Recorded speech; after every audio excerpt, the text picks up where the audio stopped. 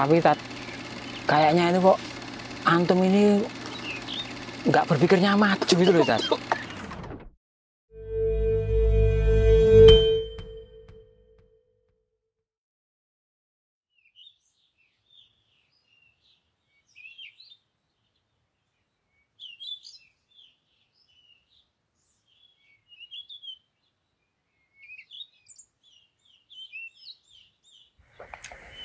Jadi dulu itu di masanya Umar bin Khattab radhiyallahu taala anhu pernah terjadi sebuah kejadian atau peristiwa yang luar biasa.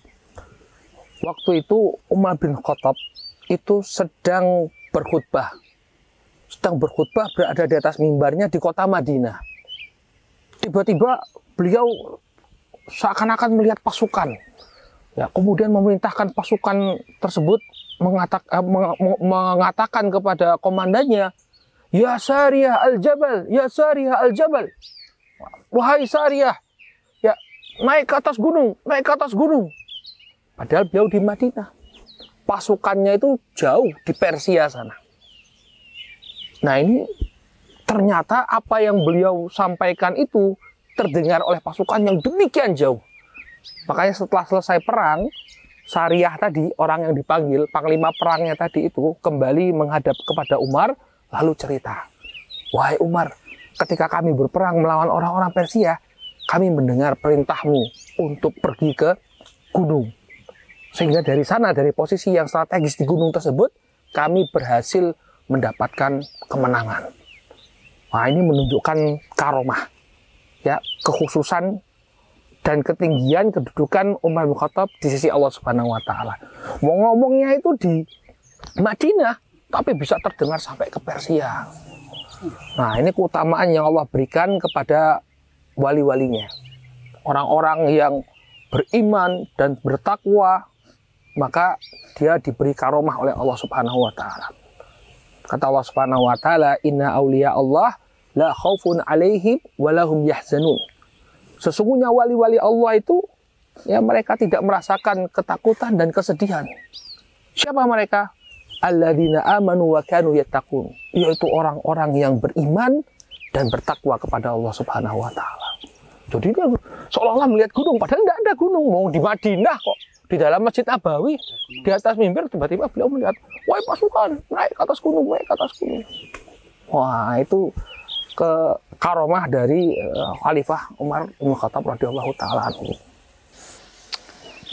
Tapi tat, kayaknya itu kok antum ini nggak berpikirnya maju gitu loh tat. Tro, ngawur kowe nganti ustad selak ngono kae. Trop, sejarah ki penting. Lah ngopo? Saiki mbok wong sing mikire maju ngono lho.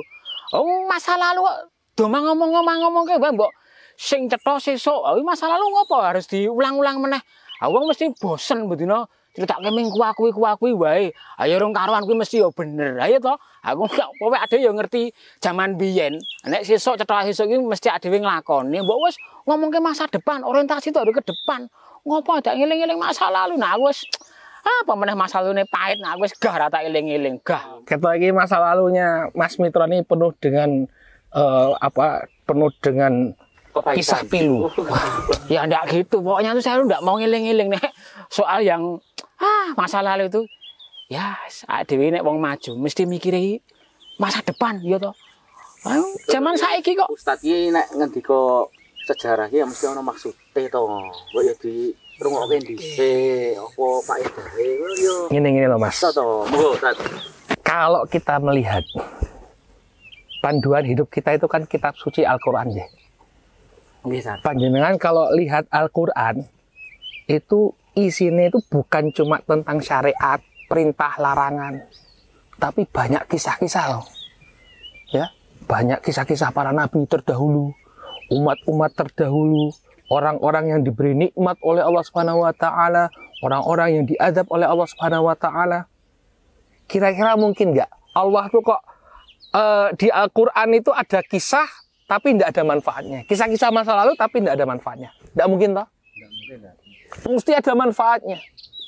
Ya kata Allah Subhanahu wa taala, "Laqad kana fi qasasihim ibratun di ulil albab."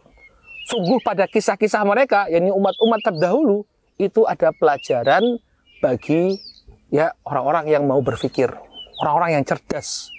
Oh, berarti yang cerdas itu bisa ngambil pelajaran.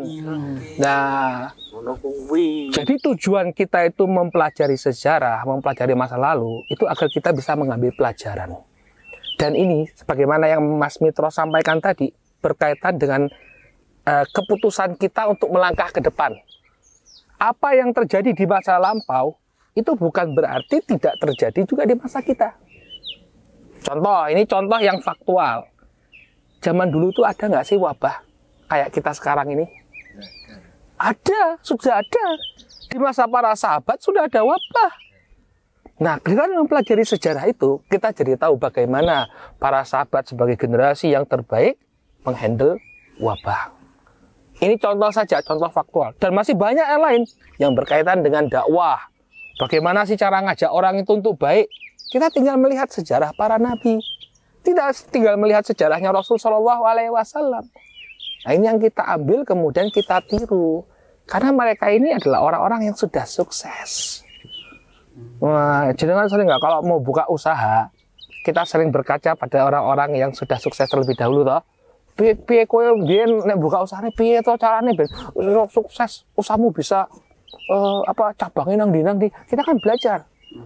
Nah, demikian juga dalam permasalahan yang lain, kita belajar sejarah itu agar bisa mengambil langkah yang tepat untuk masa depan kita. Begitu. Tapi kan itu kan zaman dahulu, Ustaz. Iya. Teori yang dulu kan nggak bisa diaplikasikan di zaman sekarang. Zaman udah berbeda. Menurut saya seperti itu, Ustaz. Apa itu bisa untuk diaplikasikan di, di zaman sekarang apa bisa? Oh bisa. Pada hakikatnya semuanya itu intinya itu sama. Mungkin secara teknis berbeda. Tapi intinya itu sama. Contohnya dalam masalah dakwah. Di masa dulu Nabi Shallallahu Alaihi Wasallam menghadapi kaum musyrikin, menghadapi kaum munafikin, menghadapi alul kitab. Saya kita takoni, zaman iki, apakah eh, yang dihadapi oleh Nabi oleh kita di zaman sekarang sama dengan yang dihadapi Nabi? Sama. Kita juga menghadapi kaum musyrikin, kita menghadapi ahlul kitab dan juga menghadapi kaum munafikin. Dalam permasalahan apa pun. Kalau dulu kalau sekarang kita menghadapi ada orang-orang yang sombong dan congkak dengan apa yang dia miliki, zaman dahulu sudah ada. Ada Fir'aun, ada Korun. Ya enggak?